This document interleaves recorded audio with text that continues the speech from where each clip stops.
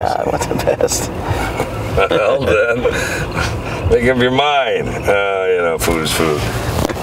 Oh really? Just like pussy's pussy?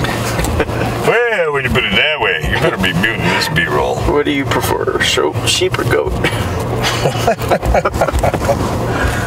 Uh, I prefer kitties. Pretty kitties.